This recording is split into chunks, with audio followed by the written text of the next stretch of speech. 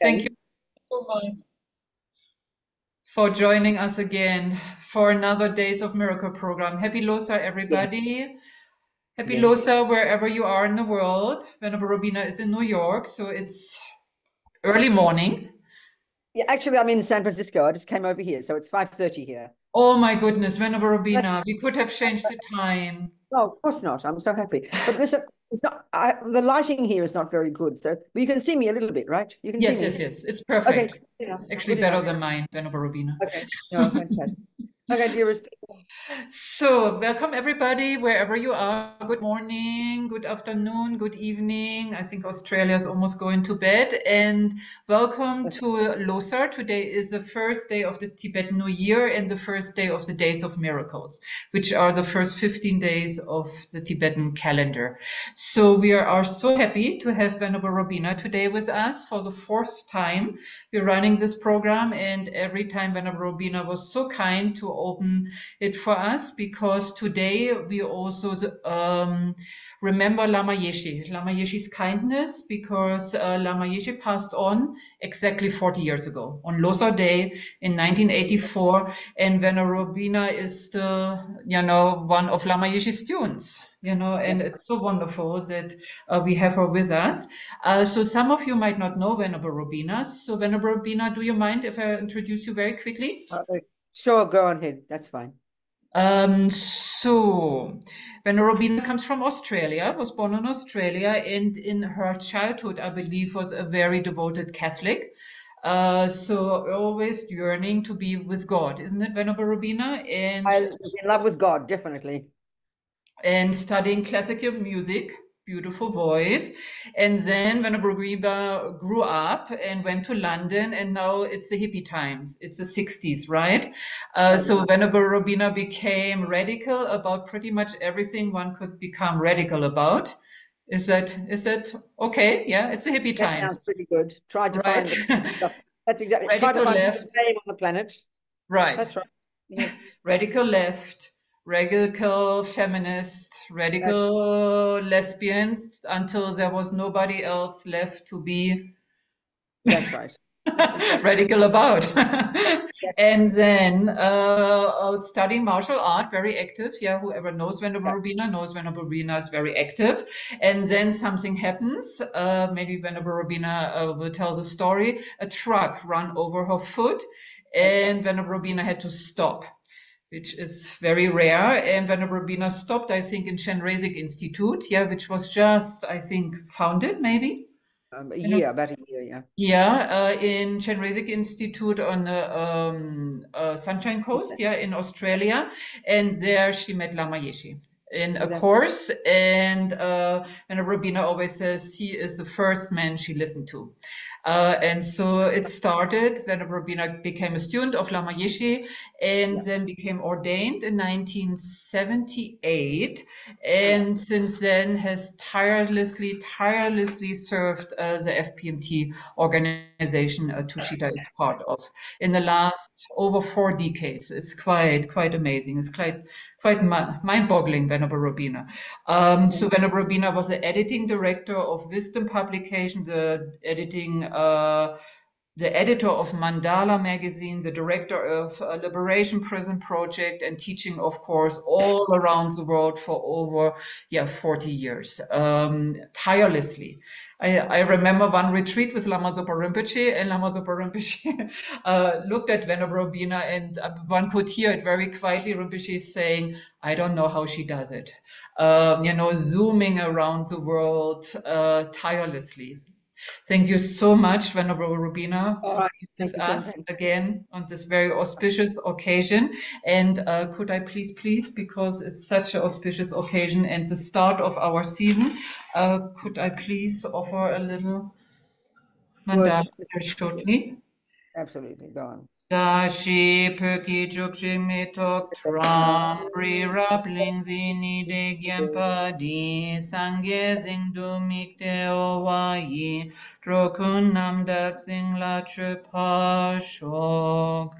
O holy and perfect pure Lama, from the clouds of compassion that form in the skies of your Dharmakaya wisdom, please release a rain of vast and profound Dharma precisely in accordance with the needs of those to be trained. Idam Guru Ratna Mandala. Wonderful, Kunpen, Venerable Kunpen. Thank you so much. This is so good. Happy to be here, dearest people. I wish I could be there personally, but maybe one day I'll come before I'm dead. We'll please, see. please, please. Good, good. but Zoom, I mean, Zoom has changed the world quite a lot. There's His Holiness the Dalai Lama so kindly, isn't it? Offering initiations online. He's unbelievable, unbelievable. You know, so kind. So anyway, um, so we're here together. I'm. I'll try and sing. I get quite a bit asthmatic this morning. We'll see what happens if I sing. We'll try and sing our little refuge prayer, just setting us in the right. Well, really, it's our prayer. It's the prayer that expresses our refuge, the first two lines. But the second two lines are really just expressing what the lamas say is our motivation, which really just means stating our purpose. Why are we here together? Why are we doing this? Because, because we all know from Buddha's teachings that what goes on in our mind, not the action, of the body and speech, but what goes on in our mind that drives the action of body and speech is the main thing. So we make that as altruistic as possible. We think, you know, we're going to listen here, just, have, just who knows what's going to come. We're going to talk, discuss, so that we can take some advice, take some inspiration from it. Certainly talking about the holy beings. The main one is to have it, be inspired, you know, to want to be like them which means to develop our to perfection our marvelous qualities and to rid the mind utterly of all the nonsense, which is what Buddha has found is possible, which is the meaning of Buddha. So for this reason, we're together. Think like this. So may even if one percent of it makes sense, let's put it into practice. You know. because nothing ever leaves our mind, everything, nothing goes astray. Everything we hear, think, and do, and taste, and touch, and smell stays in the mind. So that's encouraging. So these little bit, ninety minutes together, maybe make it useful. You know. So I'll and sing it in Tibetan. Our first two lines express our refuge. Sangye cherang soke chognam la janchu baru dagni kyabsu chi dagi chernyen gipe sonam ki drola penchir sangye drumpa sho Sangye cherang soke chognam la janchu baru dagni kyabsu chi dagi chernyen gipe sonam ki drola penchir sangye drumpa shog sangye cherang soke chognam la janchu baru dagni kyabsu chi dagi chernyen Drupa shog. Well, you know, very Venerable Kunpen is very kindly summarizing my life. And it's a bit like that. It was like that.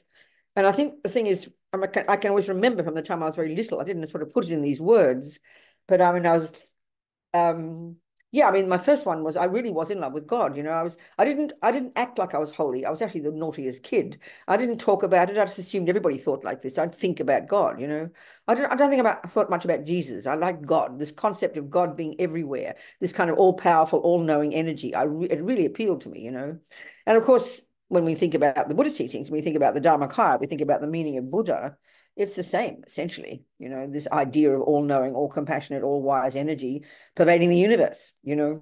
I mean i remember i gave a talk at the catholic university in melbourne a few years ago. They asked me to give a talk and i had no idea what to talk about.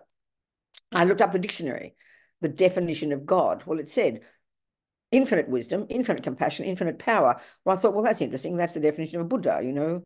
So my talk was the similarities between the definition of God and Buddha. I'm not sure if the Catholics liked it, but it was that. Of course, the differences are that they they call that the creator and all that, and of course, Buddha's not. That's not Buddha's view. His view is that we can all become that, you know. So I, I think, um, yeah. So so I think what was what the things that I remember from a child that was it was very inspiring. I wanted to be inspired, you know. So and I think and I wanted to and then as I sort of you know I gave up God when I was about 19 and just sort of went through this process. And I suppose thinking of it, it was really the process of trying to find the way to see the world, find find the way to see what the world is all about, and in particular in terms of suffering. So first, this radical political activist is all about suffering, you know, supporting all the the, uh, the, the downtrodden and all of that, you know. So I it and always looking for someone. So I, I remember when I was a bit of sort of I like the Chinese tea, you know, the the you know, I remember the time of the of being a radical lefty and sort of admiring Mao Zedong. You could see those wanted someone to inspire you, you know, and then it was different times, different people. So when I finally kind of exhausted all my options, as Kunpen said, you know, who to blame for the world. And I, this car ran over my foot, this, you know, seemingly accident, seeming accident. But these lamas know what they're doing. They stop, they stop, Lama stopped me in my tracks, I'm quite sure. And then I saw a poster and there was this name, Lama Yeshe, you know. And even until today, I always think, because I thought then, where have I heard his name? And I think today, I'm sure I've heard his name before, and I, but of course I hadn't. You know, it was this is the karmic connection, and this is why it's encouraging to hear that whatever we think, do, say, touch, smell, hear, whatever, stays in the mind. It stays in the mind in our memory. It, it doesn't disappear. Which is why when I saw that name, Lama Yeshe, something was triggered. You know, so I had the opportunity because I couldn't do my karate. I was totally involved in my karate, so I went up to Chenrezig Institute and met Lama Yeshe. In fact, Lama Zopa too. You know, so I know that it was difficult. It was a difficult for me because at that point I'd been a radical feminist, you know, totally radical. And it was quite shocking that uh, even though these teachings were kind of really medieval, Lama Zopa gave the teachings one intensive month of Lamrim. And I really did not understand his words. I heard the English, I heard his words, but couldn't frame anything. It was just this arcane, because Lama Zopa was talking exactly like Lama, Lama Tsongkhapa talked, you know, in the 1400s. It hadn't changed, you know. So it was very hard for me to, to understand what he was talking about. But it was it was the it was the it was Lama Yeshe especially, but also Lama Zopa, that they were the examples. I mean, it was if if I'd just been reading that book, it wouldn't have touched me. But it was this person this person you know we need so for me i think we need to be inspired. And the more and all the more i think when we understand the teachings we understand attachment and we understand that our deepest attachment is to be liked and approved of then in a way getting someone having a person as your spiritual teacher you're utilizing that delusion. You know we i mean how marvelous to be approved of somebody who's worthy of approving of you you know who's somebody, because we're all yearning to be loved. Lama Yeshe would say, we all want to be loved. We're all dying for love, he said. Well, why, you know, when we give our hearts to any old peanut, so why not give our heart to somebody we can trust, you know, and who can actually show us what to do with ourselves? So that for me is the function of a teacher. I mean, and Lama Yeshe for me was the very first one, of course. I mean, Lama Zopa was there too, and I often talk about, but it took me 10 years to recognize Lama Zopa as my um as my guru. I'll talk about Rinpoche as well, same time because when I um my very first retreat was at Tushita, my very first after Kopan, my, my Kopan teachings. I met him in Queensland. I went the year later, went to went to Kopan, and then went to Tushita, 1978. I did Vajrasattva. I did Tara retreat first, a Tara retreat. That's why I became a nun.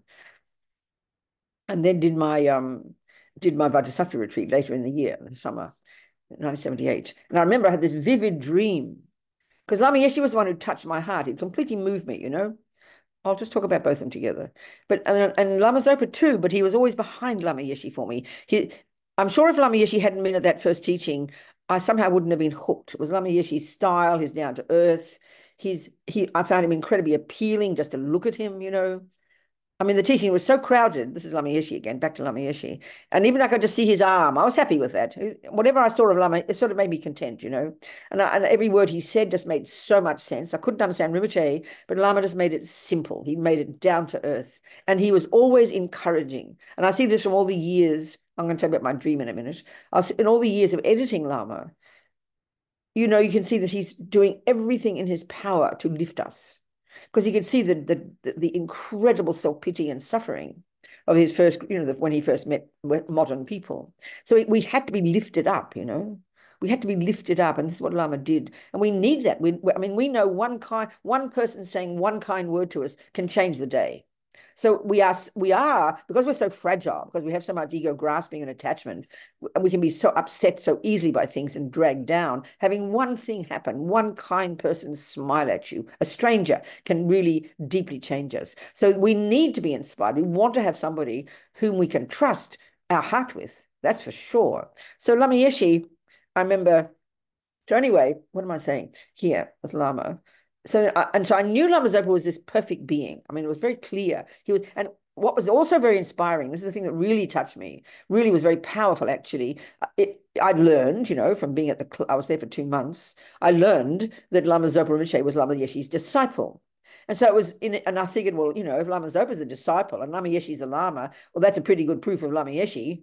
I mean, that really is helpful to see. You know, if someone's open with this impeccable student and this extraordinary person, clearly very holy, clearly authentic, if he is a disciple, even though I couldn't understand his words, then that's, you know, of Lama Yeshe. Well, that's good enough proof, you know.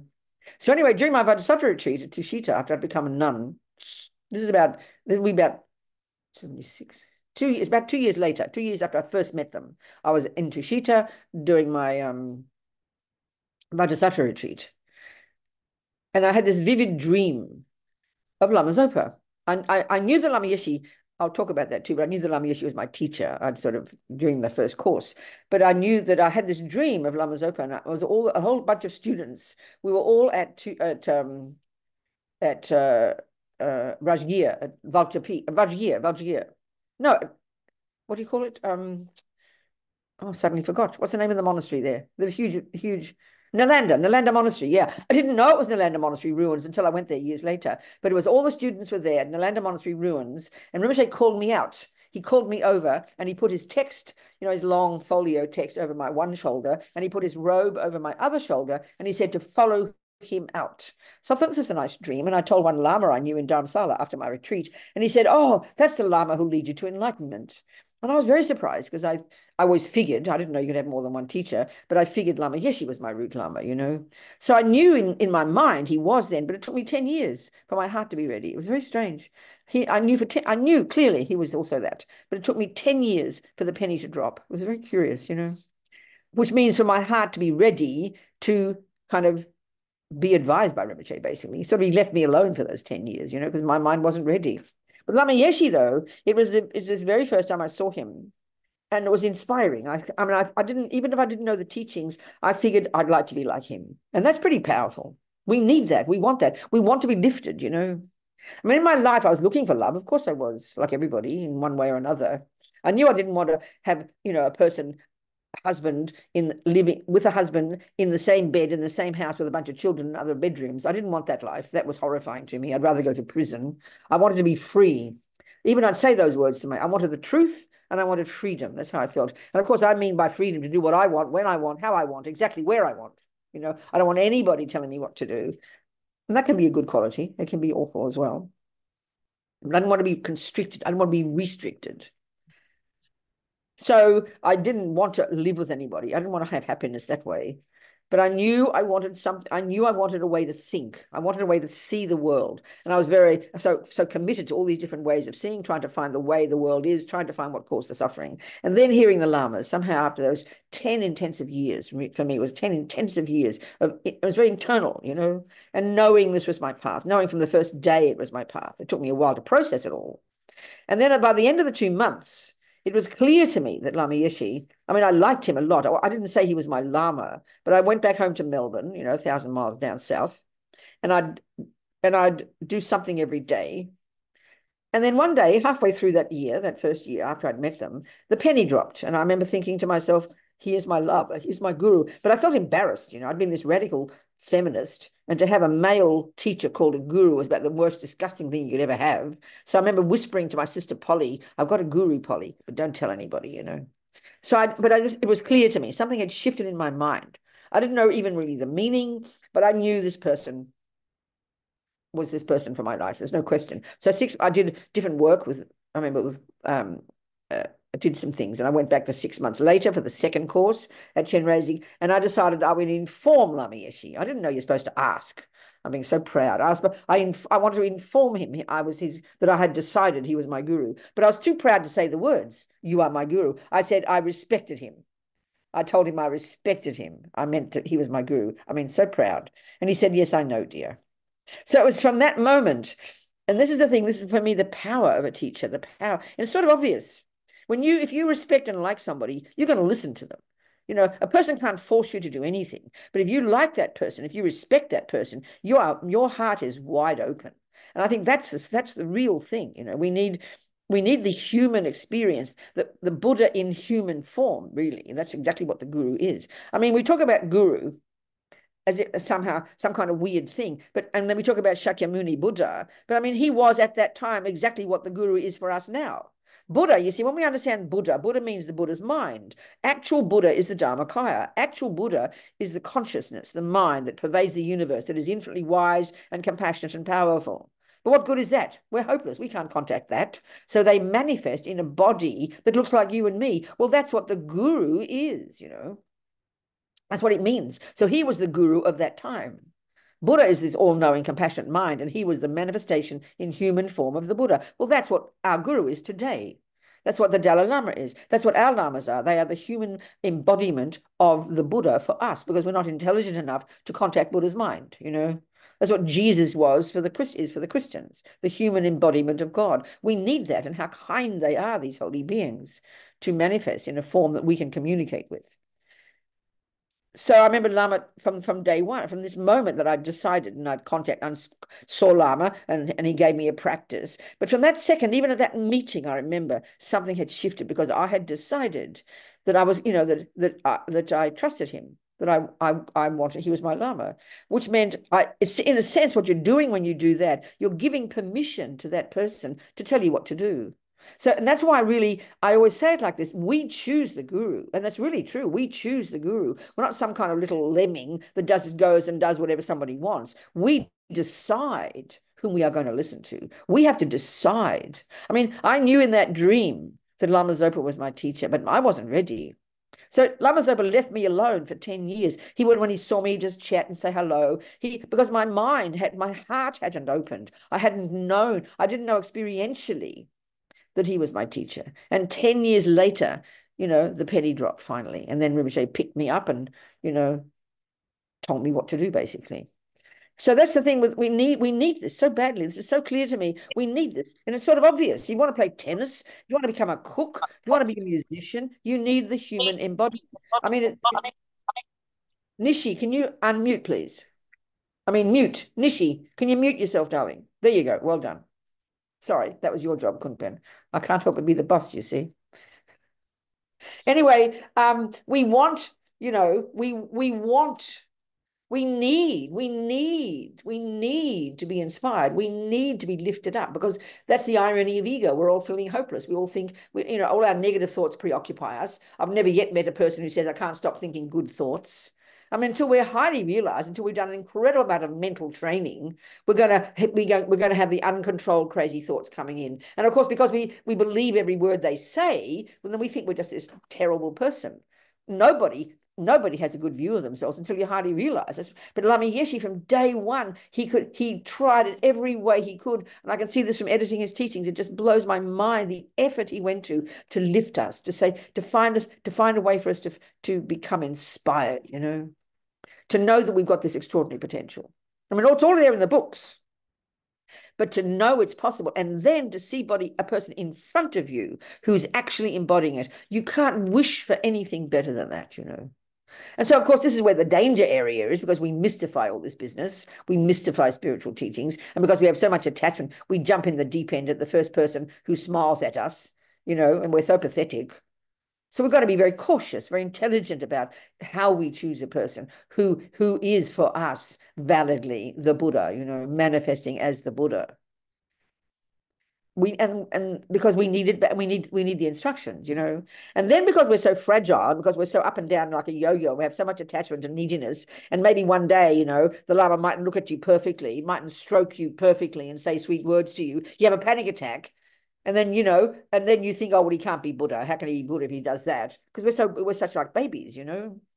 So it's so important when we do choose our teachers, check carefully, use your intelligence, you know, just like you would a yoga teacher, just like you would, uh, you know, a cook, just like you would a restaurant.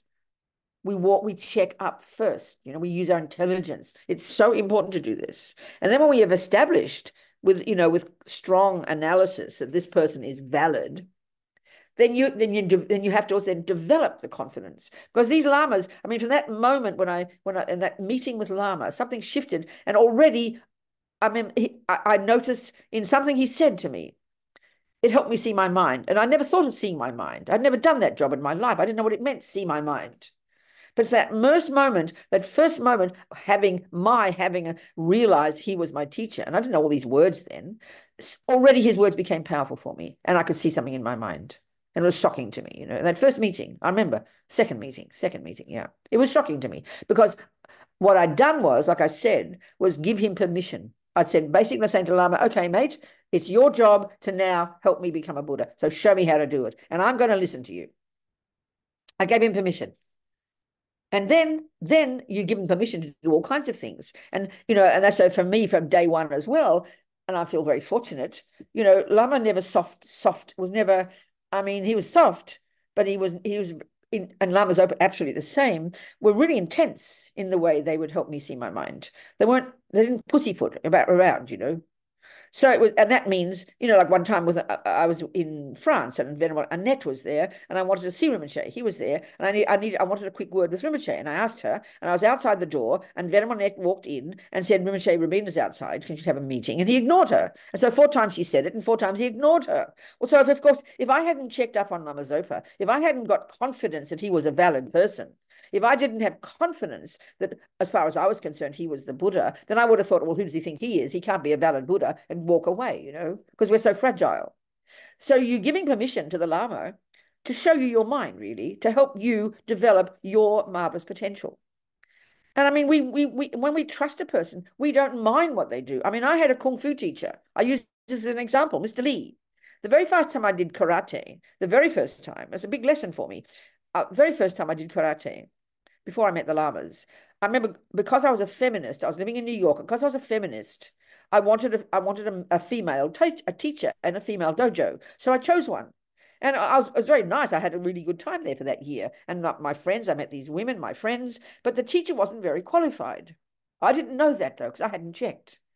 So then two years later, when I'm in Melbourne and I want to go to karate again, or a year and a half later, and uh, and there wasn't any female dojo, so I found this male, a man, a teacher, a man who was teaching the same karate, and I and I told him I was a red, a green belt or a brown belt, whatever I was, and in the same system. And he saw me after the first class, and he came to me later and he said, "I'm sorry, you got to go back to the beginning. You got to go back to the white belts." I remember feeling so offended because I thought I was more, I had more advanced than I really was, but I'd learned the wrong way, but I didn't know because I'd chosen the wrong teacher, and I learned that, and I was so proud and so upset when this fellow said I had to go back to the beginning again. But that was that was the first time I realized you need a teacher in anything. And me being so proud and so independent, you know. But I re and I wasn't going to go back, but I decided I would. And I trusted him because and that's when I realized you need a good teacher. So I didn't I didn't check on that first teacher. I had a good time. It was a nice time anyway. I learned a lot, but she wasn't a valid teacher, but I hadn't checked that was when I realized you have to have a valid teacher. Because if you're going to put your heart to somebody, you're going to open up your heart, and we're already still full of attachment, and it's going to be it's going to be attachment there as well. You're going to listen to this person, and you want their approval, but they're a peanut, then you're in big trouble. You know, I mean, karate is nothing for comparison, but of course here we're talking about becoming enlightened on a spiritual path. And that from lifetime to lifetime. So this is a long-term commitment, I promise you.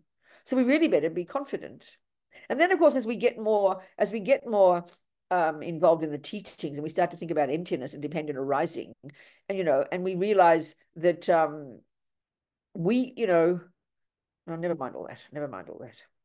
So the importance of the teacher, I of, you know, and, and the trouble is too, you know, when you hear Lama Zopa Rinpoche talking about it in, in, you know, in his medieval way.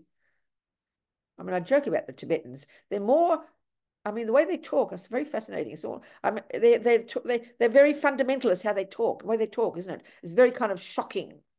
I mean, you read Lama Zopa's read Lama Zopa's words. He's laughing and smiling with the greatest compassion you can imagine. But these heavy duty words about going to the hell realms for forty two eons if you blink this way, it kind of scares the life out of us. You know, we don't know what quite to do with it. But it's because it's just their style, the way of talking. I mean, Lama Yeshe never talked like that. He never mentioned the word. He hardly mentioned the word karma. You know, not to mention hell. Lama would crack jokes. So there's different ways, I think, excuse me, different ways, you know, of um, hearing the teachings about having a guru, the meaning of a guru, the teacher, and all the advice is there. It's very detailed. But to try and put it in simple words is so important. And to realize we, you know, um, we need it in anything. We, I mean, anything we learn is obvious. It's obvious. The quickest way to learn it is to learn it from somebody who knows how to do it. It's so obvious. It's just that we don't frame it in those terms of guru devotion and blah, blah, blah, you know, but it's so clear. And the fact is, we need that because we need our heart to be lifted. We have a human heart, you know. And we and and and the other thing for me, this is where you know talking in a practical way. This idea of devotion. You know when you when you like somebody, an ordinary person, or if you especially if you're in love with somebody, I mean your heart is wide, wide open, isn't it? Which means you're really devoted to that person. You listen to every word they say, you adore them, you want to be with them. Of course, it's driven by attachment, but there's a good side there. The heart is open. Well, your heart, but because attachment is there, and because your heart is open, and then you because you're so needy and ridiculous, and this person's a peanut anyway, then of course you're going to get hurt. Of course you will. So if you're going to be devoted to somebody, you'd better be clear and confident that they're a valid person to give your heart to. You better be, you know, give your heart, give your heart to somebody whom you can trust. I mean, this is, you know, this is huge. And then when your heart is open and you have a valid object of devotion, then it's very, very powerful for your mind, you know. And don't think of this as sort of holy. Anybody you see this, anybody who's really religious, and who's who really loves God, a Christian or something, let's say a Christian, or a Muslim who is who loves God, who has got faith in God, that fills their mind and fills you and lifts you, you know. I'm not talking about fanatic and neurotic people. I'm talking about a person who just has this confidence in the presence of this powerful spiritual energy. And that's what we're talking about here in a simple way. So it's really clear we need, I mean, because we're so suffering, because we're so isolated and lonely because of attachment, to have a person you revere, you respect, you want to become like, is very, very powerful for the mind. We, it lifts us. And then, but then the other one, of course, is you don't just sit there and wait for it to happen, and you don't just sit there and they do all the work. You've got to do the work, and that means you've got to study and practice. So the way you know they always talk about the best offering to the teacher is that you practice. And I'm sure it's true, you know, it's true with anybody. I mean, if you're a musician and you practice what your teacher told you, she's going to be so happy. You can give her a thousand dollars. She's not going to care. She might like, but she, if you practice what she's told you to do, she's only wanting to give you more. It's so clear. I could see that when I didn't win Kung Fu. Mr. Lee, my Kung Fu teacher, this was 10 years after my karate. When I this time, I checked the teacher and I checked Mr. Lee. And Mr. Lee, I, I went to his kids class and I was really impressed by all these kids, you know. So I thought he was he he was valid. So I I did this is when I was a nun now. This is 10 years later, 23, 33. 20 years later, when I was about 40 something. I can't remember. 10 years. I can't remember. It doesn't matter. I was living in London, working for Wisdom, and I did, I did Kung Fu. And of course, being fanatic, I did it every day. And I'd go to this Kung Fu class. With, and, and I was, there were three of us who were the fanatics. There was like this 14 year old boy, a 19 year old boy, and me. I was like 42 and a nun. They didn't know I was a nun. I didn't wear my robes. But we were the three little, like the three musketeers. We went to every class six days a week. We'd go and, then we'd go hang out in Chinatown in, in London and eat French fries at McDonald's, you know, afterwards, because you wouldn't eat before you had to want to have an empty stomach. And I was a fanatic. I trained six days a week, three hours a day and I wanted, and so I could see with Mr. Lee, and this is the one about, you know, I, I did, I checked on his credentials. He was valid. So I wanted his approval. Of course you do. You die for someone's approval, especially if it's a teacher. You want them to approve of you. So they give you the instructions. If you do it, they're going to give you more instructions. So I went six days a week. So the man wasn't stupid. He could tell I wanted his kung fu. So he gave me his kung fu as much as possible. And of course, he was incredibly tough with me. He'd scream at me, you know, and I was honored. I didn't want to go and sue Mr. Lee because he shouted at me. I was honored that he shouted at me because he could tell I wanted his kung fu. So he kept giving me his kung fu. It works. It's a, a very dynamic relationship. So it's clear with a teacher, and this is the interesting point. I didn't see Lama Zopa Lama Yeshe that often. I mean, I can count, I say it, I think it's probably true. I can count on two hands the number of personal meetings I had with both of them, you know, really personal. I didn't have that. And you don't need and that's where, of course, this gets a bit more esoteric for us. But once I'd established this relationship with Lama Yeshe and then eventually Lama Zopa, um, and indeed my other teachers, you know, you can have as many as you like. The work, the work's all yours. They've done the job. They're Buddha. They don't need to do more from their side. But the, so the re, so the work has to be done by us. So that's where you get the benefit. Instead of thinking, oh, I want to have Lama Zopa see me, I've got to talk to Lama Zopa and have him stroke me and smile at me. You don't need that. I mean, the baby in you wants it, but you don't need that. Because if you do the practices, and especially, of course, because we have all these marvelous practices from the Vajrayana, the visualization of these different different Buddhas whom we see as the guru, it's totally, totally prepared for us that all the work is in that practice every day. And that's how you grow your guru devotion. And that's how you grow yourself. You know, the more you practice, the more you're confident this person is valid, the more you see them as the Buddha, the more blessings you get. So it's a really integrated, delicious process, you know. So all the work has to be done by us.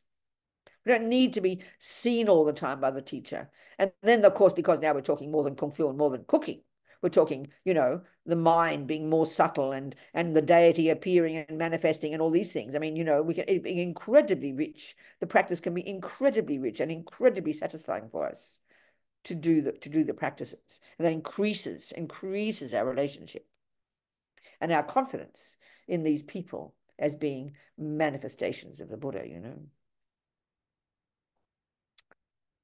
So I don't know. What do you think, people? Ask me some questions.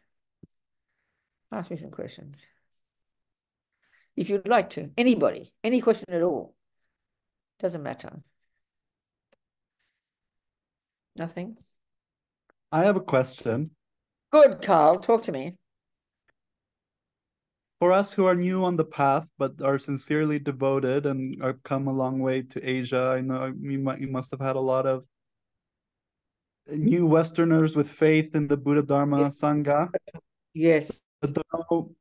Uh, so how how did you find your your first guru and and and how did you as an Australian um, maneuver this? Thank you. Okay. I sort of been talking about that, and I'll so I'll keep talking. So okay, yeah. I mean, as I, as I, as I mentioned, I met the, I met Lama Yeshe Lama Zopa first.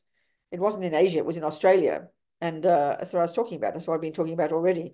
That I met them in uh, at Chenrezig Institute, and um, did you? Sorry, let you me clarify. Let me let me Yeah, clarify. no, Sorry. Yeah, go on. Uh, Yeah, so- please.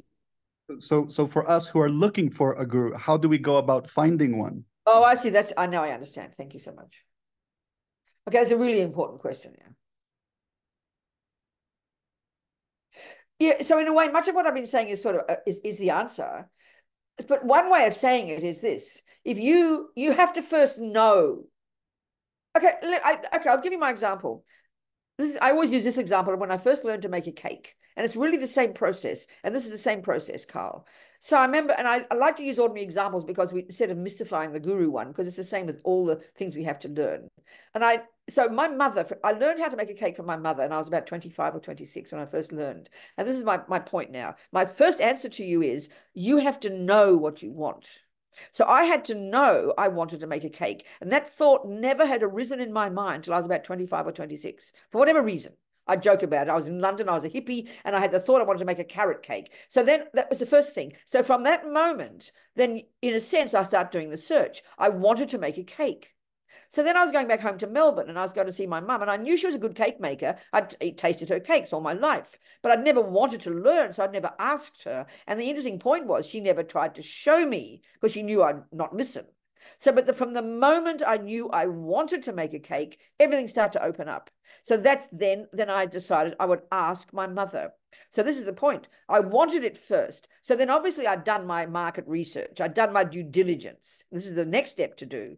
You check, you go to the classes, you check the teachers. You know, you go to this one, you go to that one. I mean, in my case with with Dharma, I fell straight into the lap of these lamas. They were my first classes. You understand? So the cake one example, because I knew I wanted to make a cake, then I thought, oh, I'll ask my mum because I'd done my market research. And what does that mean? I'd checked the product, the teachings. I'd checked her qualities. I checked her disciples, my sisters. I'd eaten their cakes. I'd checked her peers. Her friends said she was a good cake maker. And this is the point, Carl. Why did I have to do my due diligence like that? Because because I had no experience in making cakes. It's a very powerful point. I had no reference point. I had no way of judging that if any old Joe showed me how to make a cake, I'd have no way of judging whether that was correct. And that's exactly what happened with my first karate teacher. I hadn't checked up on their reputation. I hadn't checked up on their teacher. I hadn't, I didn't know whether they were a good teacher or not. So for one year I learned and I didn't ever know it was wrong. So you got to, the only way we can have confidence in a teacher because you don't have experiential confidence, you've got to have inferential certainty. They call it that. It's intellectual confidence by checking on their quality, checking what they're like, going to hear them, checking the student, checking their peers, checking their reputation, because you have nothing else to, to rely upon. And I had done that with my mother. So I was ready. I wanted it. She knew how to do it. And I said, Mum, please show me how to make a cake. And you know what, Carl? I remember the day. It wasn't a carrot cake. It was an apple and walnut cake, but it's in my mind, in a memory. It's there as a picture. The kitchen, the day. It's clear to me because that's the first time cakes became real for me. So Lama Yeshe for me was the first time the Dharma became real for me. So so you you you got to know you want it, and then you kind of you don't just physically search. I remember one person, her one student, her mother was literally want, wanted her teacher, and she went. She had, she could afford it. Went around the world, literally searching for teachers.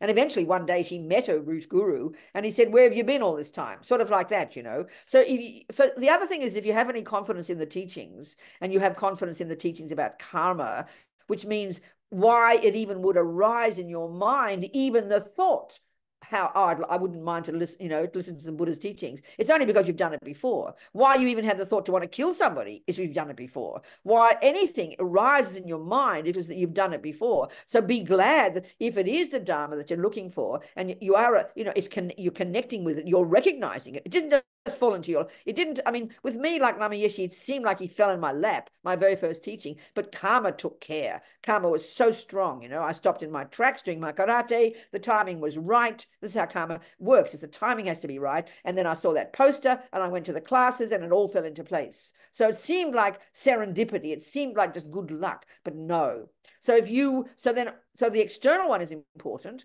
Go to the classes, go to the teachers, listen. But the internal is the main one, Carl. Want it from your heart every day because every thought you have, as Lama Zopa says, everything exists on the tip of the wish, the thought, I want. So have every thought, the thought, every day the thought, I want to find my teachers. I want to find my path. May I find my path? May I recognize? Every day have that, and that will drive you. And then use your common sense, use your noggin, use your intelligence, and then one day you will it will come logically.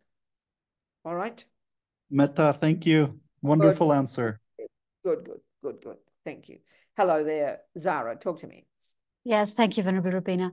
Okay. Um, Venerable, having heard lately of a person around my age with a terminal illness and not long to go, it got me thinking about, even for those of us who practice the Dharma, we do our daily practices, how do you convince yourself that you, what you're doing is a virtuous and meaningful life without kidding yourself?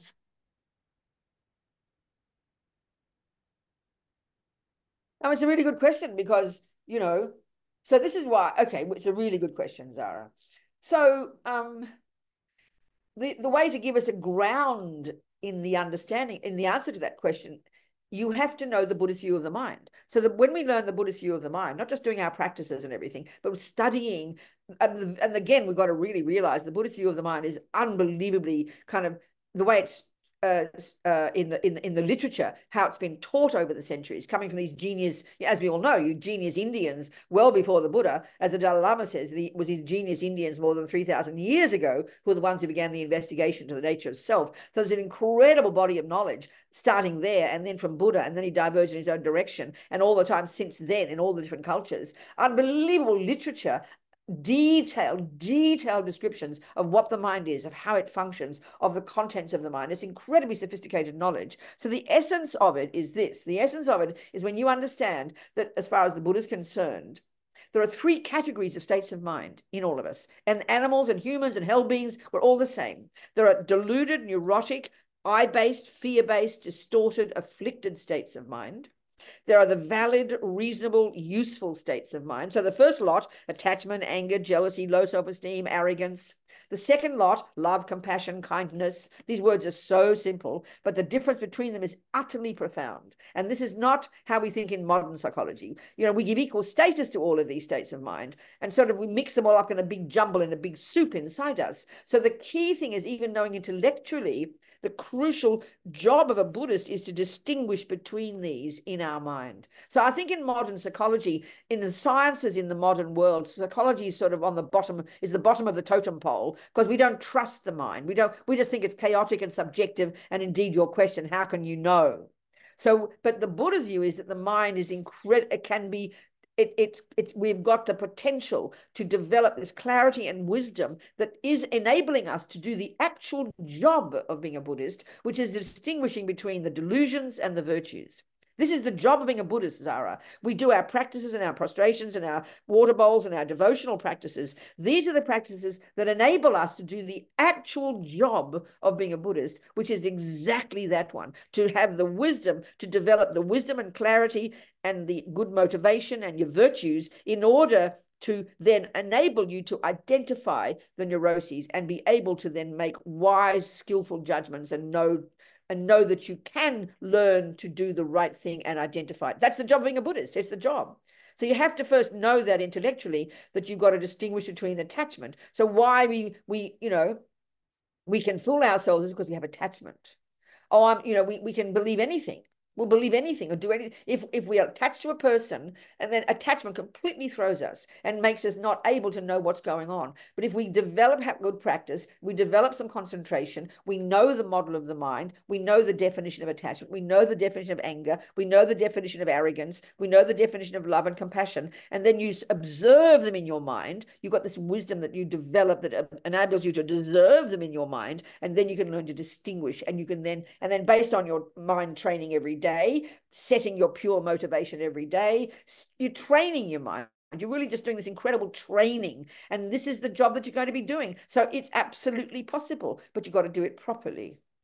Does that make sense, Zara? yes, thanks very much. Thank you. Thank you so much. But it's, it's possible. That's the point. It's not just cross your fingers and hope for the best. It just comes from good, hard work. And then we need courage to do that, Zara, because we can easily fool ourselves. And we, we, we'd rather, sometimes we're lazy. We've got to have courage to want to be authentic and want to be clear and want to have the right motivation. And then that, that helps us grow this wisdom. Do you understand, Zara? Good, darling. I hello. do, I do. Thank you. I do. Amit, Thank you very there. much. Good, good evening, Amit. Happy to see you again. Thank you, Venerable. So good to see you again. Happy yes, sir. Um, yes. My, my question is I don't have a guru, but I am learning a lot from multiple people. So I'm inspired. What did you say? I don't have what? I missed your first sentence. I don't have I, I do not have one guru. Okay, fine. Yes. But I learn from a lot of people. So I'm yes. inspired by the prime minister of my country, for example. I'm inspired by people in the financial services because I'm a financial advisor. I'm inspired exactly. by teachers like you. I'm inspired yes. by Dalai Lama. So that's I'm right. also inspired by people who are doing a good job in in the space yes. of well-being and psychology, etc., etc. Right. So, right. if I am trying to take best from a set of people rather than one person, uh-huh. that living a less virtuous life. What was that last living? What was the first? Was the, the last question? So, if instead of having one guru, if yeah. I'm learning from a set of people, a bunch of people, Yes, is that yes. living a less virtuous life? Well, I mean, I don't know whether that's the doing that. I don't know whether that's a conclusion. That's even be a, even a question. It's got nothing to do with that. It's more to do with right back to what I said to Carl. You have to know what you want. You have to know what you want, and no one's saying what you need to want. You don't have to want to be the best tennis player on the planet. You don't have to want that, but if you do want that, but necessarily you will cho- go to the various teachers and it'll keep narrowing down and narrowing down and narrowing and down until you've found the one teacher that's right for you because you because when it, you go deep deep deep deep into tennis every tiny action counts. One teacher will say you hold the racket with this finger that way. The other teacher will hold the racket this way. You can't do both. So if you on the surface, you can learn so much from so many people and that doesn't not mean it's a, a, lesser life. But if you it's up to what your mind is like and what you want. So if, you, if, if it becomes something for you that you know you want this more you'll end up so for me it just fell that way. I fell into the lap of a tibetan buddhist teacher. Not just tibetan buddhist but gelugpa not just gelugpa but lama yeshe it became very specific. So then from there i practice and now i can have 57 teachers. So it kind of it doesn't contradict. But in the end to do something really I mean, to go to intricate detail into any one thing in any area, it, it narrows it down. It narrows it down. So I'm not saying you have to do that, but just keep moving. And then the answer to the question is, what do you want? So if you want a valid, good life, if you want to be moral, if you want to have, you know, you need to find people who can reflect that back to you. And it's driven by what you want. Do you understand? Yep. Thank you. Good. Good, Amit. Hello, Dinara. Hello, Hello. Venerable. Happy to see uh, you. Happy to see you too. Uh, I have a question please talk a little bit about uh, the importance of be of humbleness and how, how to stay humble? Uh, humility. Yeah, no, it's it's a very good question, and this is where we study the mind. We study the Buddhist view of the mind. We're going to learn there. Are, you know, there's one delusion, a particular delusion, a particular affliction. We're all very familiar with it. It's called pride or arrogance, whichever one you like. They're pretty much the same. So when we understand the essential quality, the central characteristic of the neurotic states of mind is that they are I based, fear based, and they're distorted. They're not, they're, they're, exaggerations. They all exaggerate something. And the key quality of the virtuous states of mind, and the opposite of arrogance would be humility, is they don't exaggerate and they're more rooted in not just I, they're not I obsessed. So arrogance, so okay, attachment exaggerates the nice qualities of something. If you're attached to cake, it'll look more delicious than it really is. If you have aversion to somebody, they appear more ugly than they really are. Well, arrogance is very clear, or pride, it over exaggerates our importance. The flip side of it is low self esteem, which is over exaggerating your, your, your lack of importance. Do you understand? And they're very, very connected. And our problem in our life, when we hear about humility, we mistake it for low self esteem. We think humility means, oh, I shouldn't like myself. But humility is a valid state of mind. And the interesting point is the irony of a, of a, of a low self esteem person who's obsessed with themselves, it's just the flip side of arrogance. And really, you only got low self esteem because you've got arrogance. Whereas if you've got humility, you are content with who you are, you're satisfied with it, and you're happy to praise other people. A low self esteem person, when they see another person who's better than they are, they kind of take it personally as a personal insult against them because we actually it's it's it's it's the flip side of arrogance and it's not comfortable. But humility is relaxed and easygoing. So a humble person can praise another person but a humble person also has confidence has self-confidence. So we've really got to again the, the, the way to understand what i'm saying is all rooted in this very clear way buddhism presents the different categories of states of mind. The negative ones are distorted, they're I based, they exaggerate, and they they cause suffering. The virtues are relaxed, easygoing, spacious, and cause happiness. And they're very different. And we have we have to know that theoretically, but then only by looking into our minds every day we can begin to actually identify the difference. So humility is a hugely important quality for one's own benefit. And it's not low self-esteem. It's not, oh, I'm nothing and there's something. That's just, that's a neurotic idea. Do you understand what I'm saying, Dinara? Does it make sense what I'm saying? Does it answer your question? Yes, thank you very much. Because I think our, the, the, the, the, another question, another way to frame your question is what's the what's the disadvantage of being arrogant? Well, first we've got to recognize we're arrogant, and we don't like to recognize that. But I, and I want to say this more again: if we've got low self-esteem, which everybody would confess to, it's because we're arrogant. And this is very shocking to hear.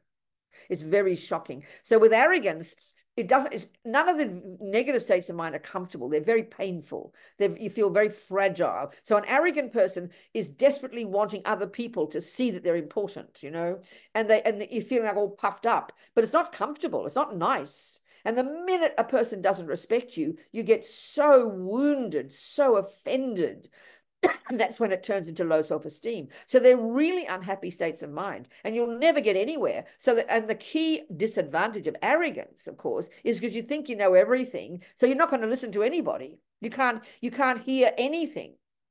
I mean, they always say with the teachings, when you're listening to the teachings, and you, you know, if you've got a sense, well, I know this already, I'm going to hear a single word.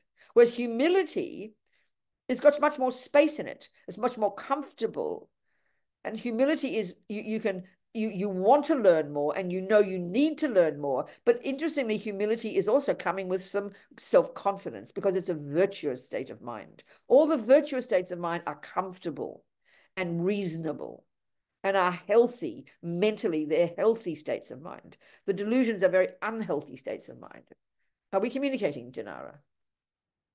And all of this these we can learn the theories but we have to learn to become intimately familiar with the workings of all these states of mind because they're all in there. We've got all of them. We've got all of them, you know. So what else, people? Anything else? Is that did Karina put her hand up? No, you didn't, Karina. Okay. I thought I saw your hand up. No, don't worry. Who else? Ask me some questions. Any old questions? Come on. Please, anything. Yes, SK. Who is SK? Hello. Talk to me. Yeah, so just go, you know, uh, going ahead with what uh, Dinara was mentioning, uh, over the years, as uh, you know, um, practicing and you know, uh, realizing that every moment, you know, contemplating on, you know, every phenomenon, and every person I meet is dependent, originated in causes and conditions. But when you come across people, uh, there is always this at the back of the mind that you know, mm, there's a judgment coming up, and uh, that awareness that I'm always judging people Yes, right, exactly. Even though at the background there's a wisdom that they are That's behaving right. in whichever way, uh, in the nasty way or you know violent way, aggressive way, uh, because right. of a lot of causes and conditions. Right. But That's I also have this kind of uh, thing coming that on this spiritual path, uh, why am I uh, judging everyone? I mean, I understand. That's a very yeah. It's a really good point, SK, and I think everybody does that. It's the commonest thing we have that um when we're caught up in the delusions, we're always uh, first we're always finding fault. So this is why when we see our minds very uncontrolled, they're always finding fault. They're always critical and about ourselves. They're always negative. They're always the negative side, always finding fault. I'm not good enough. I'm too fat. I'm this. I'm that. Someone says the wrong word. Oh, I must have done the wrong thing. I'm bad. We're never uh, uh, uncontrolled with our positive thoughts. It's always just the negative thoughts, and negative thoughts are always finding fault. So it's inevitable because we have this sense of a concrete I that is literally separate from others, which is the, the, the result of ego grasping, the root delusion.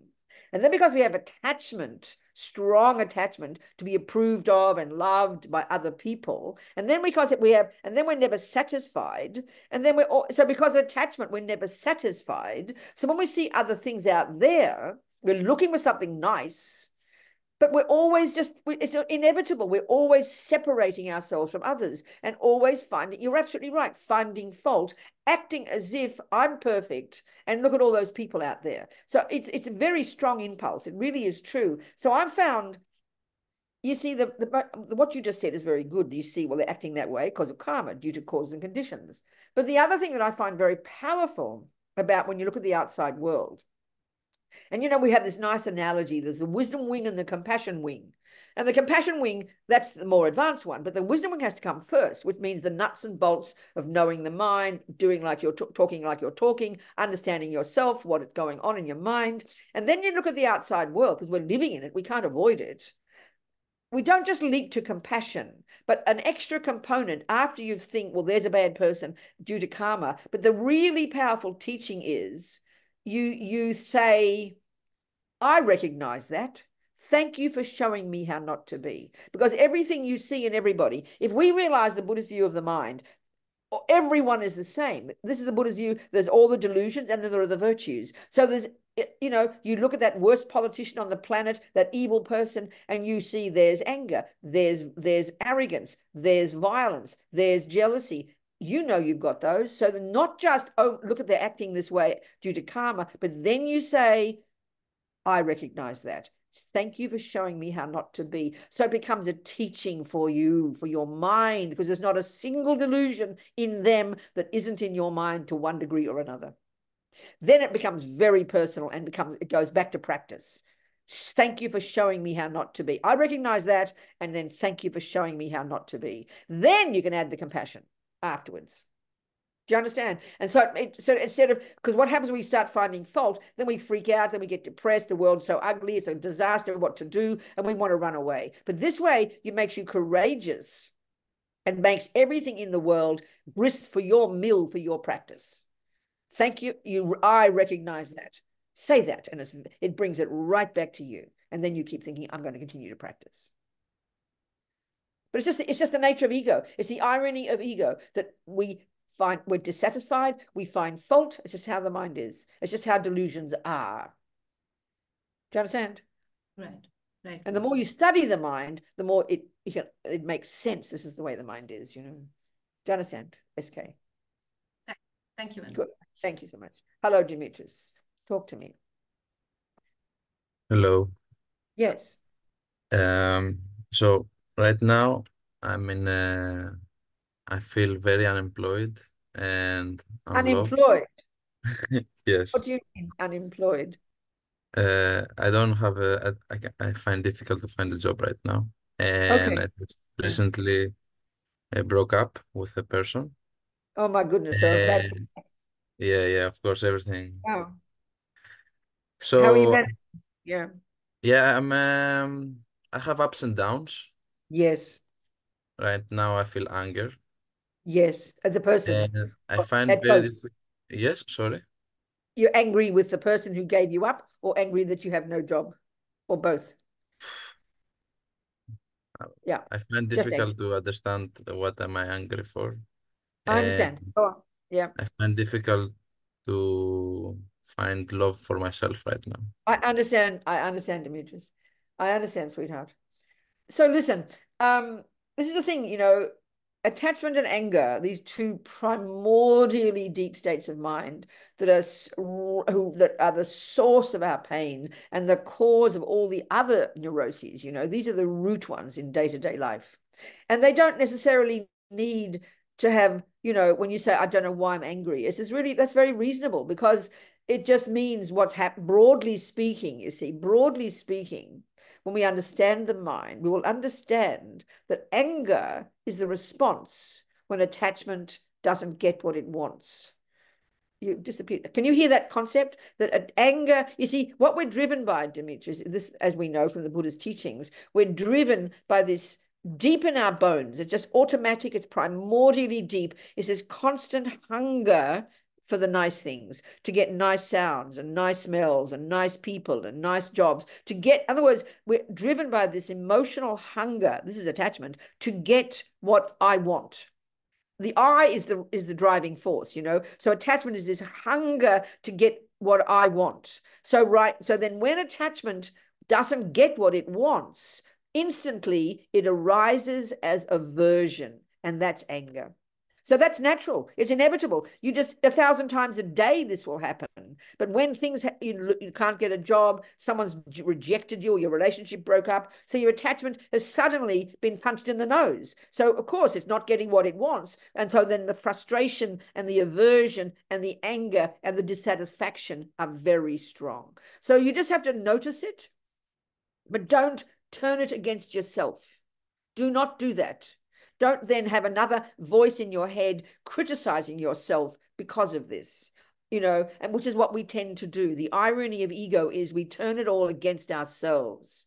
And don't do that. Try not to do that, Dimit. Try to protect your mind and try to just to have courage to know that you know, the Buddhist view is very strongly that the virtuous states of mind, love and compassion and confidence and self-confidence, these are our true nature. But the other stuff, they're there, but and they're the ones that cause us pain. So when you're in a difficult time like now, you've got to be very cautious and careful to protect your thoughts and try not to let your mind go completely crazy. I mean, we can't stop the thoughts because they're so strong, but have some wisdom inside you that is kind of like going, it's okay, Demetrius, I'm having all this anger now, but this is not who I really am. This is not my true nature. These qualities don't define me. And you just kind of hold yourself steady and you just try to have confidence and just keep moving every day, a little bit every day, every day. Do you have a practice? Do you do some kind of practice or not? What are you a Buddhist or not a Buddhist? I'm just curious. I'm not saying you should be. Yeah, I'm um, meditating often. Okay. Well then, darling, just to try just to take care of yourself. Try to watch your thoughts. Don't let them get it. Try not to let you can't force them to go away. We know that. And but you can at least have the con you can at least talk to yourself and say, These thoughts are loud, this anger is strong, but it's not my real nature. Don't, in other words, don't define yourself in terms of the anger. Don't don't believe all the thoughts that you're thinking. That's the, that's the big practice. Let the thoughts come and go. You can't stop them, but don't believe their story. Don't believe that you're a creep. Don't believe that you know what you're thinking because this is what ego does. Just be careful. Be cautious. Protect your thoughts. Protect yourself, but don't try to force them away. But just mm -hmm. don't believe them. That's a really important step. And then it's that's why it's important if you do like a spiritual practice. The Buddhist teachings are very encouraging. Lama Yeshe was like this. He would really read. He would um, he really constantly encourage us to see to see our potential. The mind has incredible potential. That it's that the delusions and anger are not at the core of our being. They don't define us. I mean, do you like to read the Dharma books? Yeah.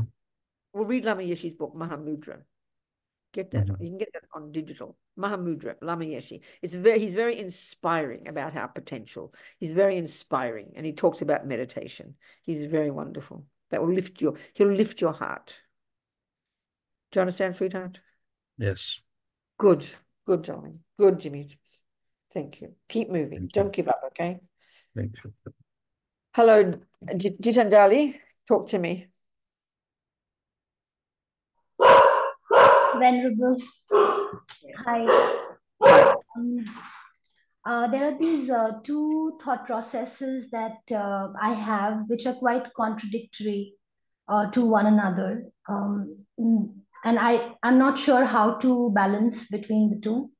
Uh, the first one is uh, the feeling of compassion towards everybody, including um, people who are uh, including criminals, for example, or people who got negative virtues, or people in jail, or people who wronged me, who hurt me. So, That's right. Exactly. So uh, I always try to think of what um, what could have happened in their life or their past karma, That's right. which yes. what they did, and then I I start to feel compassion for them. Good, amazing. So then uh, the other one. the other one is, and this has been uh, from my childhood. Um, it's sort of in my mind looking at people's greed and uh, their cruelty towards sentient beings, towards animals, um, hurting others, hurting people, hurting animals. So the feeling is I hate people, I hate human beings for everything that they do. So it's just, it's very confusing. Sometimes it gets very confusing. How do I reconcile? Um, I understand, sweetheart.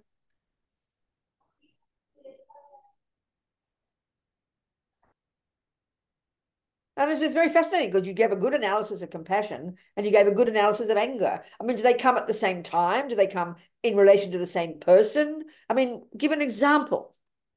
Like you just read, let's say you read about some, or you, or is it people you know? I mean, or is it? No, no.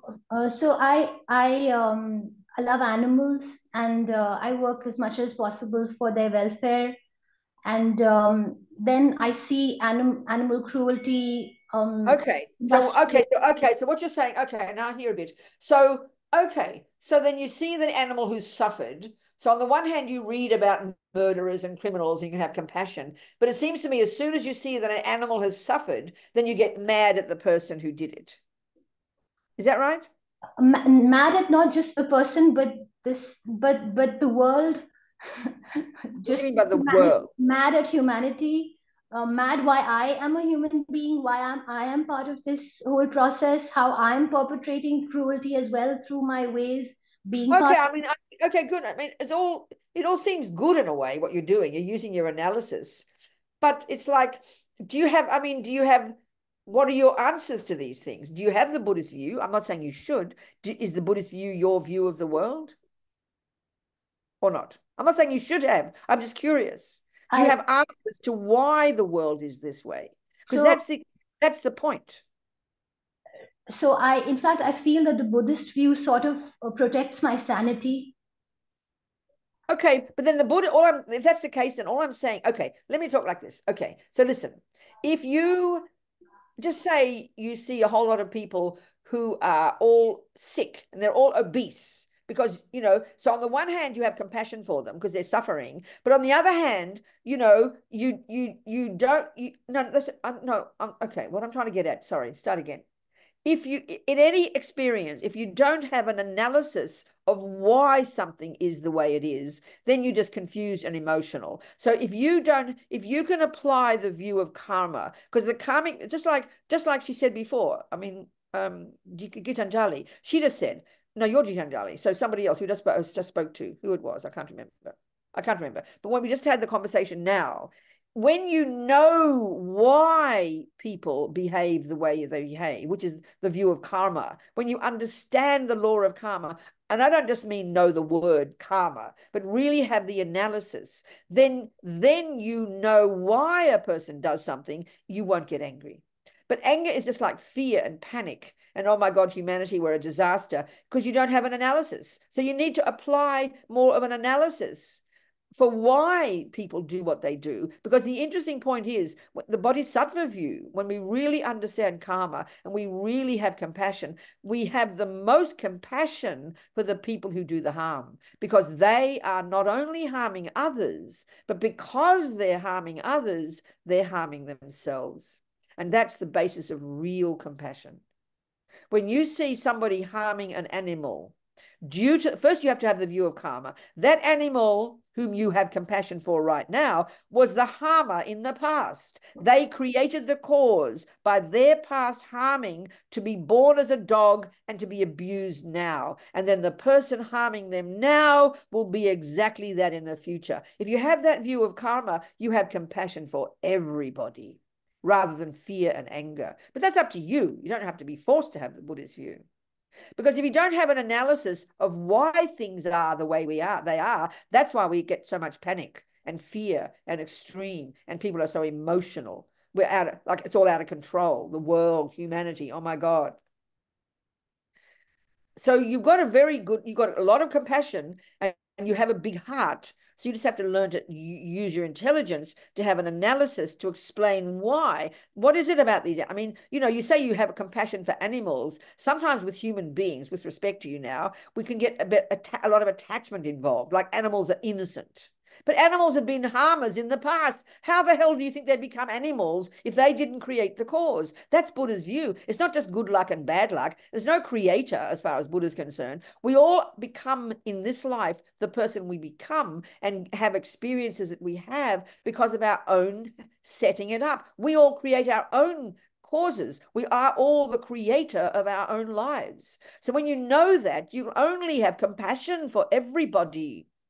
But instead of having this, I mean, a lot of people have, we like to have an innocent victim and we love, we think animals are innocent victims. So we have this very emotional compassion for them, like as if they're innocent. But nobody's innocent if you have the view of karma. We're all created the cause from countless lifetimes doing harm to others, lying and stealing and harming. And then we experience the fruits of it later. I mean, that's just the Buddha's view. It's up to you to do what you'd like with it because that gives you a bigger view and calms your mind down. And then you know why you are the way you are. You know why the dog is the way it is. You know why the harmer of the dog is doing what they're doing. And then you have compassion for everybody. What do you think? What do you think of that? Yeah, it um it, it makes what? sense it makes sense to me but it, it it's it's hard it's hard to well darling eh, there you go. It makes sense but it's hard. It's just sort of, it's sort of like when you learn something complicated. Of course it's hard but if it makes sense to you keep practicing it. And slowly slowly sanity will come. Slowly slowly the the, the theories will become experiential for you and it will it will it will enable you to change your mind. It's hard work darling. Of course it's hard work. Can't force it. This takes time. Yeah, but it's it's helpful uh, how you put it. Thank you very much. Well, and, and I mean, just it's up to you. You know, you ought to keep trying to, and try. Oh, see, the other one is try and control your thoughts. Because when you're something small will happen, and then you start the story in your head, and you think out, oh my God, human beings, try and control all your thoughts. Try to let them run away. Do you understand what I mean by that? Yeah. I do. And do what you can to be useful to others and keep practicing and keep having confidence. that, that there is a way to get clarity. There is clarity to come. And just be patient and be humble and keep working on yourself and helping others and know that clarity will come. Jali. Do you understand, sweetheart? I understand. Thank you. Good, good, good, good. Hello, Sophie. Yes, Sophie. Hi, Venerable Robina. Um, yes. Yeah, I was having a question regarding personal practice when you don't have a proper guru who got who can guide you. I did November course with you, so I have a lot of recordings and I keep listening to some teachings. But sometimes yeah. I come I'm confused about what should I practice, should I do? So I well, alternate. People, but do you have teachers you like? You should contact them and ask them. Okay. you have teachers you like, Sophie? Yeah, I mean, I like you for sure. I did. I did really enjoy the November course. Why don't you get my email? Email me and I'll answer okay. your question. Okay. Have you got my email address? Uh, I no, I don't have it actually. It's my full name, Robina Courtin, Uh-huh. At Mac, like the computer, at mac.com. Mac. Mac.com. Okay. Yeah, like the computer. So please, I'm happy to answer. I mean, but that's not saying you have to answer me. But if you want my answer, I'm happy to give it. Yeah, I would be happy actually. Yeah, very welcome, darling. You do Thank that. you. All right, sweetheart. Hello, Dinara. Again, uh, Andrea. Hello, Andrea. You talk to me. Andrea. Hello, Hi, Venerable Robina. How are you? Happy yes. Losar. You too, darling. Thank you so much for this teaching. Um, and I just had a, a question kind of following on a lot about your talks about humility and that I feel like yeah. I'm starting to to I've been studying a lot of karma right now and and it gave me a more relaxed mind for a little bit. It was like, okay, we don't really have control. Karma, like all, all the causes and conditions have brought us here and we're still controlled a lot by our affliction. So kind of just try to stay present and keep your mind in virtue, like try to not be too self-critical. But now that I've practiced it for a bit, I feel tight again. And uh, I feel like for example today i have the choice of going to a wedding or or staying here and listening to teachings and kind of studying. And it's back to that bit of like you do have to make a decision and kind of what what decision is best for oh okay. No i think i, I like I, I see what you're saying. And that but that but you're right. You have to you can't just float along as if that somehow sometimes it's true. Sometimes you just do. You get up in the morning you do your practice and whatever happens happens and you let it pass and let it go. But we have to make decisions. Of course we do. And so but you got to look at why it is it's difficult for you. Why is it tight for you to make a decision?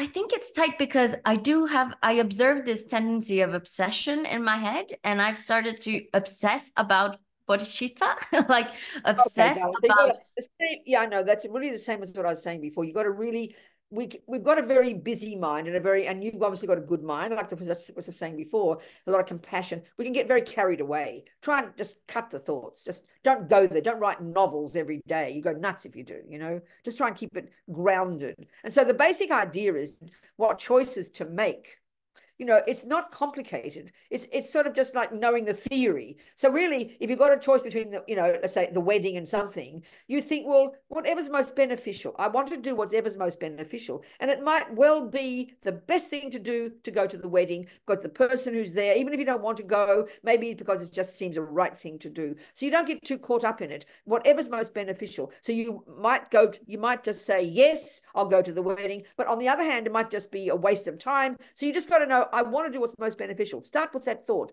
May I do what's most beneficial? And that'll train you to then uh, eventually, without too much effort, to be able to see what's most beneficial. It mightn't be the most evident thing. You understand what I'm saying? You got to start with, I want to do what's most beneficial. That's really what bodhicitta is, because that's what it is. I want to do what's most beneficial. That's got to be your start. As Dalai Lama says, always aspire to do what's most beneficial. And that's got to be your starting point you got a choice between this and that. You know just go see your girlfriend or go go there. Whatever's most beneficial. And you begin then to get a sense of and that the bodhicitta one is what's best for the other person. That's what mm-hmm. sometimes is what's best for the other person. So it might be best for the other person that you go to the wedding but it might on the other hand it might not be and it might be best for you to stay. So you just and you got to tra train yourself in that. So start with that thought as his holiness says always aspire to do what's most beneficial. And it's like anything, you train. As she said before, it's difficult. Of course, it's difficult, but you've got to train yourself. My, this is a really intensive job we're discussing here of training our mind to think the, the in the right direction. It's a huge job, but that's what we're capable of. So aspire to do what's most beneficial. And don't go on about it. Don't write novels. You Thank you so much. Don't get carried away. We get carried away sometimes and we lose the plot, you know. Just bring it down to earth, whatever's the most beneficial. You know, and it could be the most simple thing. To go out for lunch with a friend. Is it beneficial? No, you might just realize it's just wasting time. No, sorry, sweetheart, I can't do it today. And might or it might be they might need to talk to you and you may be busy, but you decide, yes, it's beneficial. You'll do it for their sake. Sometimes it's for their sake, and sometimes it's better for your sake. You've got to work it out. But it comes, but always may I do what's most beneficial. And then, of course, His Holiness says long term better than short term, if you can. Mm. So train you're training. This is mind training, and it's a full on job. Okay. So keep moving, Beautiful. babe. Good. Thank you so All much. Right. Okay. Hello, Adil Talk to me. What time is it? 10 to. Yeah. Go, talk. You have to unmute. I can't hear you, my dear. Unmute yourself. Okay, yeah. There okay. we go. Hi, good evening. Good Happy evening. to see you. Happy yes. to see you. Well, my question is, I understand that spirituality is an individual process. Yes. Uh, but it's is it like two people in love, can they walk the process together? Say that again. You want what? Can two people in love walk the process yes walk the path of okay. spirituality together. Of course you can, but it's a of course you can, but it's a as you know, it's a minefield. So I mean, if you're asking from the perspective of, you know, I haven't got a person yet, and I would like to find one. Is that what you're suggesting? You'd like to find a partner with whom you can practice a spiritual path. Is that what you're saying, or you've already got a partner? No, I'm not saying anything. I'm just asking the question. Is it possible? Okay. Of course it's possible. But it's a minefield because if, you, as you say, in love means there's masses of attachment. And the, and, the, and the problem when we have a relationship, a attachment relationship, because we're so kind of linked to the other person, we um, can easily become a danger. You know, well, I'm practicing my spiritual path, and I hope you're practicing your spiritual path too. You've got to want to practice your spiritual path with that person, even if they ended up not practicing. But if you do it contingent upon, I will practice my spiritual path as long as you practice your spiritual path, then it becomes a problem. So yeah, you've got to have a will, a wish to do it no matter what. But it can, for sure, many couples have some karmic connection as a result of their dharma and have a relationship and practice. But practice is individual. And then your practice when it comes to the other person, that's called practicing patience, practicing humility, practicing kindness. That's what that's how you practice in relation to the other person. Do you understand? But if you've got your own personal practice on your cushion and then you practice humility and compassion to the other person, it'll work perfectly. Of course, it's possible. Well, thank you. yeah. I got Good. It. All right. So, what else, dearest people? What else? Mahesh. Yes, talk to me. Hello. Unmute, my dear. Yeah. Happy Losar. Yes, you too. And uh, happy Losar to Kumpenla also. So, uh, okay. Uh, I have a question uh, regarding my daily practice, sadhana. So, I am yes. doing my daily sadhana, say, say, for six, seven years now. So, sometime I feel that uh, doing after six, seven years, someday it feels that is the practice is not fresh as yes it was started like that. So how yeah. I keep that practice on daily as fresh as new? I know it's very hard to do it, I think. But I think I think the answer would be, Mahesh, not, you know, is that if your entire life, if you're practicing every moment of your life, if you're practicing everyday humility and practicing patience and practicing your devotion and practicing giving up attachment, then that will enrich your sadhana. But your sadhana, in and of itself, it's obvious, it can't grow because it's not separate from the rest of your life. And it's, but it's not easy because, you know, it's not easy to have joyful feelings all the time. We're not that realized. So some days it can be a bit boring. Do it with sincerity. But other days, when your mind is more fresh, you can get some more joy from it. It's okay. But the whole life has to be practiced. And then your sadhana, which is just, that will definitely grow. But you can't expect it every day until you're highly realized, you know? Until you realize emptiness, you can't expect the joy every day. That's okay. Keep moving. Fact that you do it every day is admirable. So well done. Yes, sir. I, I'm I'm doing. Uh, I enjoy the doing the practice daily, but I I good. got the answer what you are telling. Yes, yes. Good, good, good. Yes. Keep moving. Thank you. Keep moving. Okay. And then and I, see. Are you coming to Pune? What? Huh? Are you coming to Pune? Uh, Pune city. No, no plan lately. But oh, you never know. Okay. It might happen. But the other, remember the other thing, Mahesh. Remember the uh -huh. other one.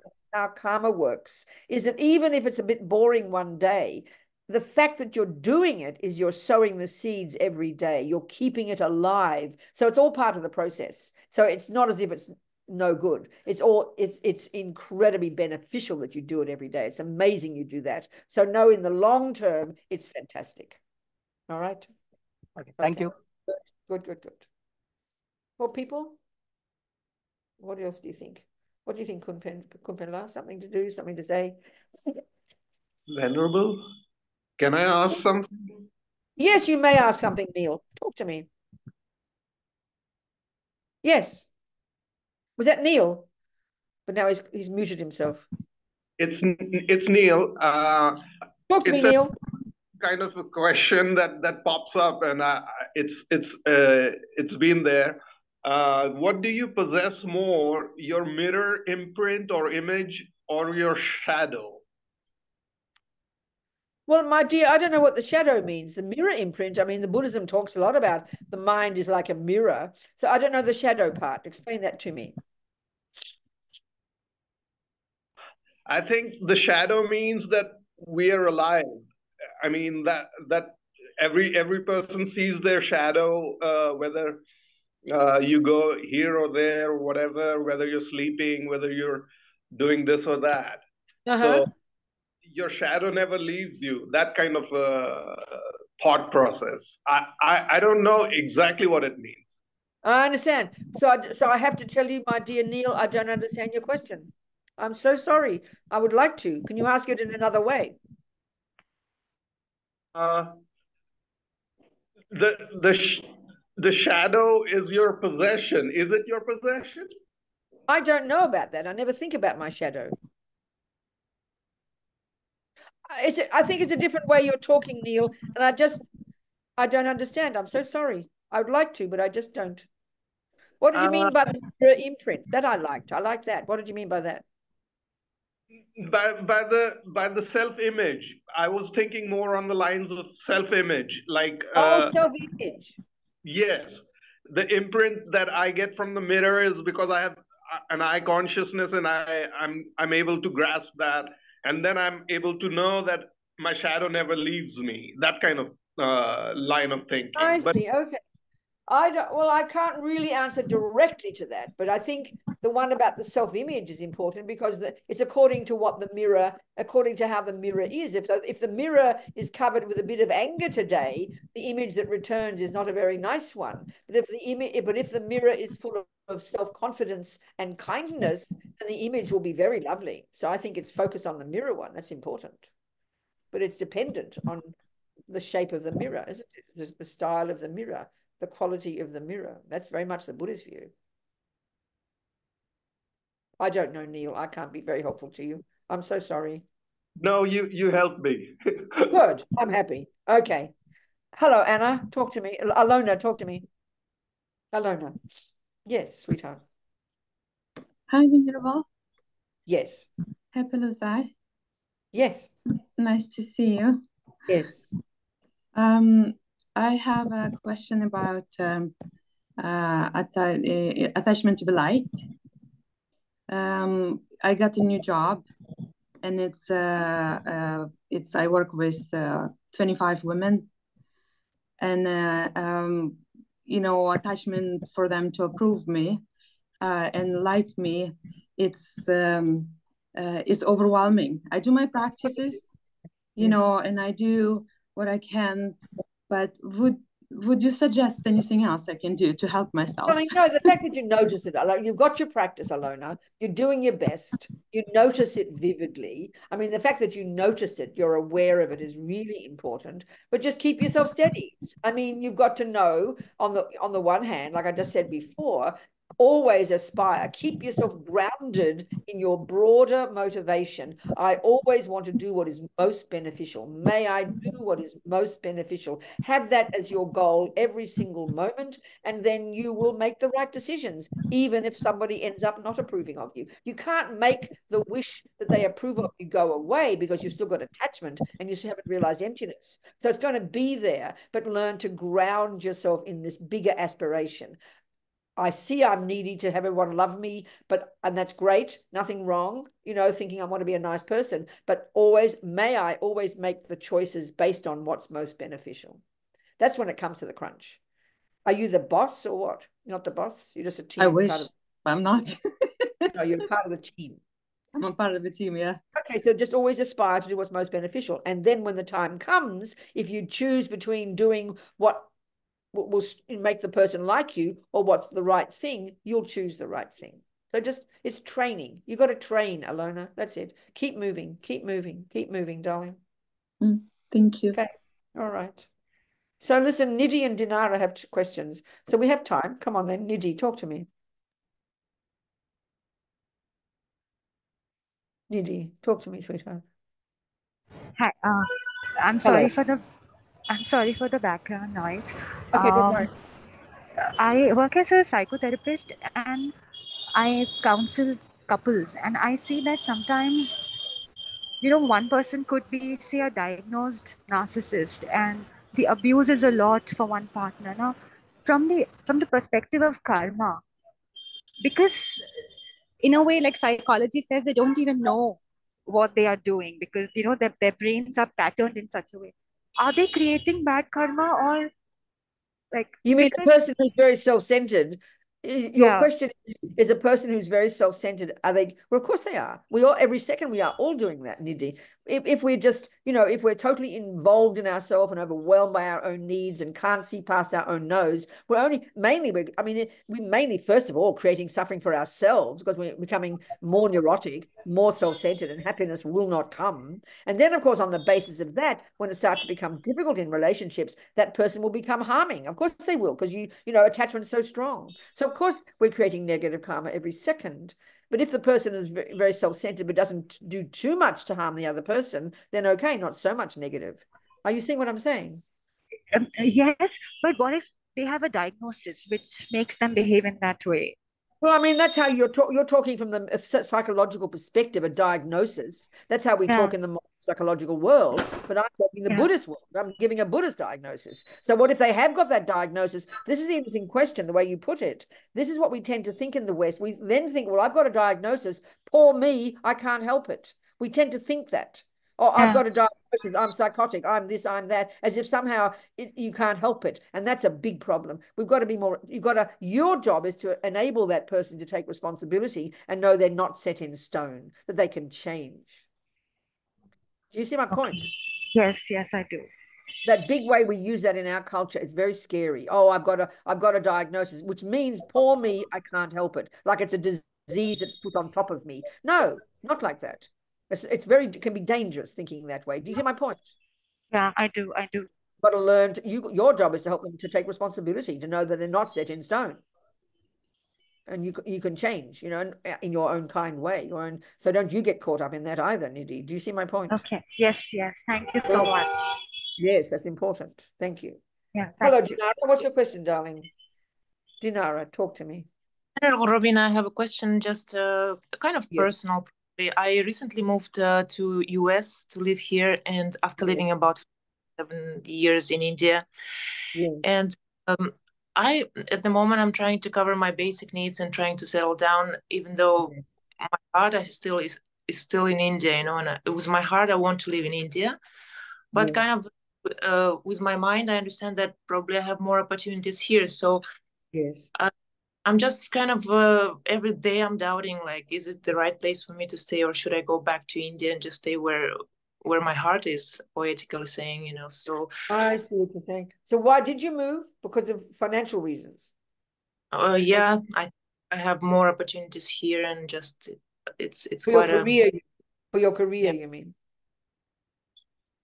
Well you know it's down to the same question as I asked before. You got to know what you want Dinara It's got it, it, rooted. There's no absolute right or wrong, you know. And it might be that you've got to really check. You've got to almost like do some very clear analysis, do the the pros and cons of both things, and you really got to come to a clear decision even though you might suffer as a result of one one question, you've got to decide what's more what what is more beneficial. You've got to work it out. You've got to look at the pros and cons of each one and really check what is what is it you're trying to accomplish? What is it you want to do with your life? And what for the long term, what is the most beneficial? You've got to just really nut it out. It's not a it's not an emotional thing. Really look at it carefully. You've got you at this moment, you are here doing this. So don't get too caught up in it because things can change. But really look look at the pros and cons of both and come up with a almost like a list. It's not mystical, it's very practical.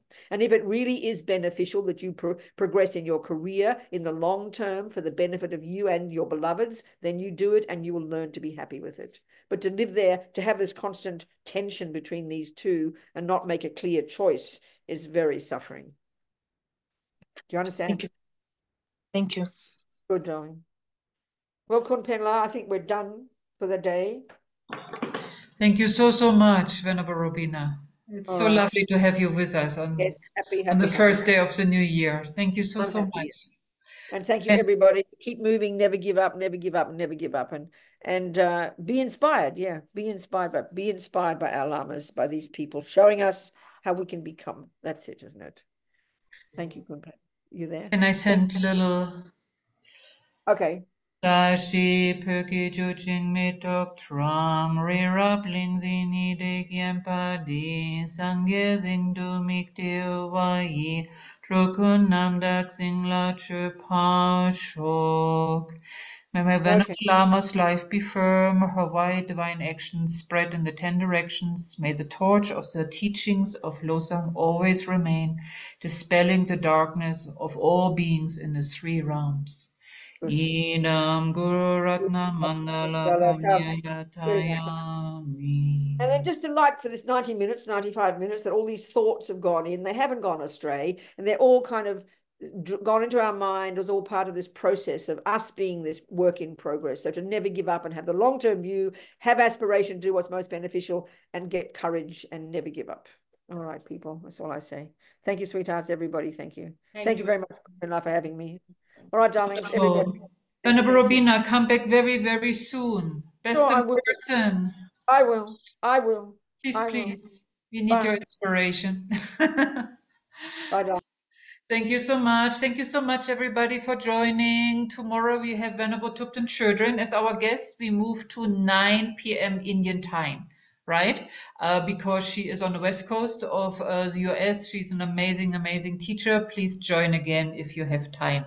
Also, in the afternoon, we have a hybrid session with our resident teacher, Venerable Wongdu, uh, at 3 o'clock uh, Indian time. Yeah, so uh, Venerable Wongdu will be here in uh, Tushita, uh, but we put it also online. So please join. Thank you so much. Have a good day, a good night. Happy New Year. Bye bye.